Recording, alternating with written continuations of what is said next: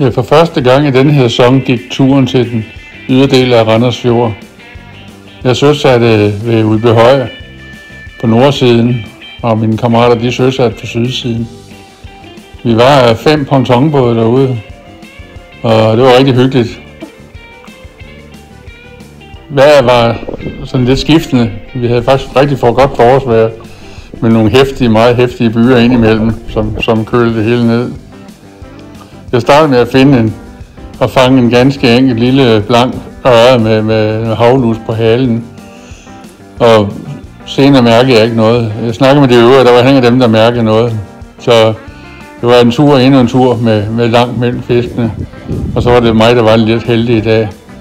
Men øh, fisken er jo blot en bonus på en god dag, og, og vi fik snakket og hygget os, og alt det, der skal til på en god fisketur.